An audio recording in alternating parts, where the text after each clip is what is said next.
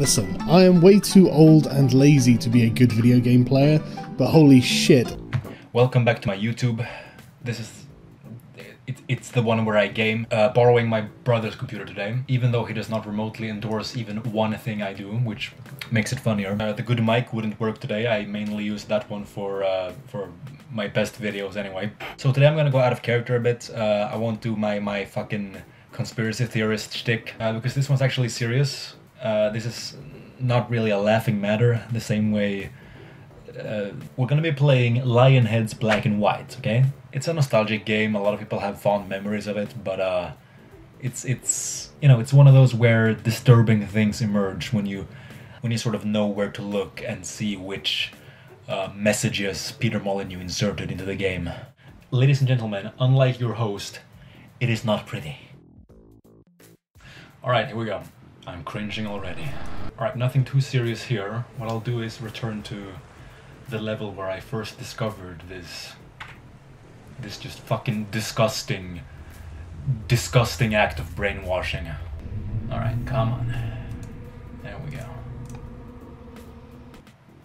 Alright, so we're on land 4 and we're in uh, Norse village here. And the thing about Black and White is that uh, for each civilization, if you will, there's a different set of characters. You got male and female villagers here. These are the Norse designs, okay? Just for comparison, I will go to a different village that I uh, have control over, or my god character has control over, rather.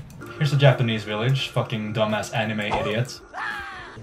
Got their own character set, as you can see here. There's a woman one now, fuck you. The Aztecs, again, a very clear set of character designs. So I'm just playing the game, chilling, watching over my villages. Here's a custom made one, that's pretty cool.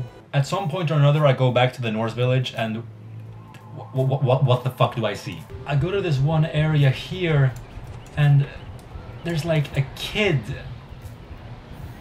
He, look at this.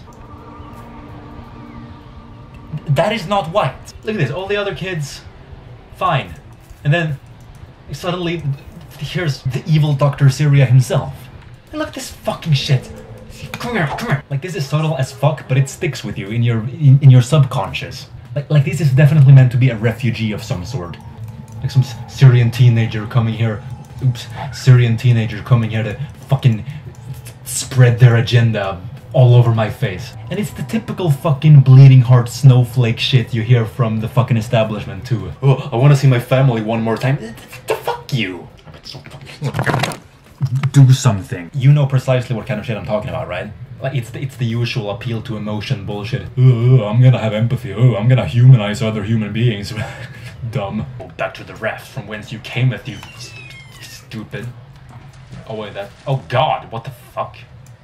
It's like the great replacement, but backwards. I don't even know what actually I did there. this ties into what I keep saying, though. There's way too much emotion, there's way too much petulant, bleeding heart nonsense. Like, people don't think with logic anymore. Like, okay, fine, I see where you people are coming from, but can you actually scientifically prove that this person should meet his family one more time before he dies? Like, like can you show it with facts? Okay, but back to the game. Uh, I'm sorry, but this is just...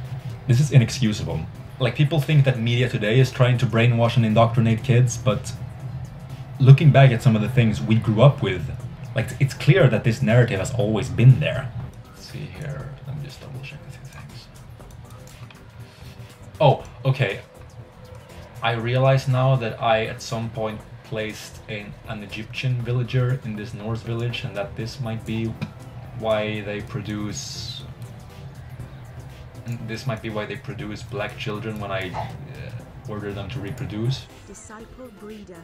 It appears my hysteria has been unwarranted, and I am not yet sure how to spin that into a scenario where I'm being censored by the fake news somehow. Yeah, people should buy that version of it, fine. I am a gamer, so... It's like 26 degrees Celsius outside, what the fuck am I doing?